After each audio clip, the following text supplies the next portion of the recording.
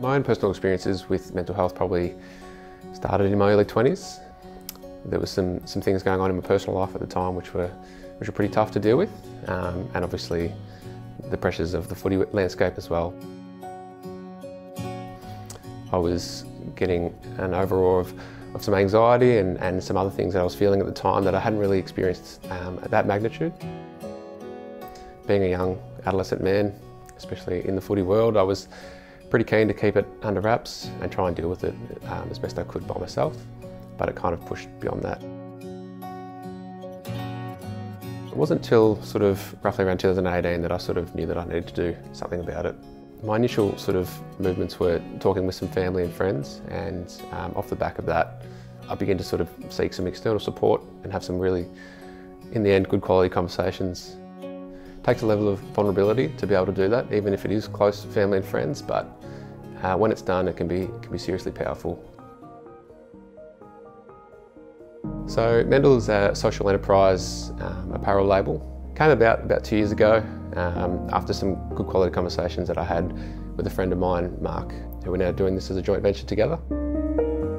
We wanted to sort of create something which was quite clean, quite minimal, and also quite subtle in its, in its branding and its messaging, just to sort of have people sort of look good, feel good wearing the brand, something they'd be comfortable wearing at their local cafe down the street, but also with this sort of hidden message behind it for those who recognise the brand or know the brand, can sort of give a subtle nod of support and or for someone who may not be sort of sure what the brand is about, um, it might be that sort of starting point in regards to um, starting a starting a conversation.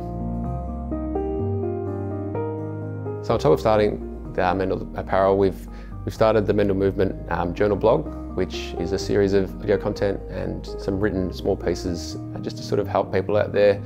with some ideas around how they can keep their mental health in check and also just to sort of help sort of reiterate and, and create some of these conversations um, and how important they are in having um, and sort of lead by example. So the proceeds of our sales at Mendl get on donated to a different charity of each month. Uh, we sort of recognise that there's some really good charities already doing some good work in this space and in doing so the proceeds will be donated this month to Lifeline. For a lot of people out there, they might not have the comforts of some close family and friends uh, at the ready to sort of hear them out. So it's definitely comforting to know that there's organisations willing and able to help and Lifeline's one of those. It's awesome to have Lifeline attached to our round 23 game this coming week. It means a lot to the football club to be sort of